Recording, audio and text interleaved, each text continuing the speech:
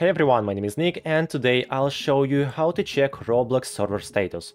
So it will help you when you try to enter Roblox launcher or some game in Roblox but for some reason you can't do it. So all you need to do is open a browser, I'll use Firefox, and now type in the search box Roblox server status and go to the first site downdetector.com or to the second um, status.roblox.com. This is the official website, so click here and uh, right up here you can see Roblox outages reported in the last 24 hours.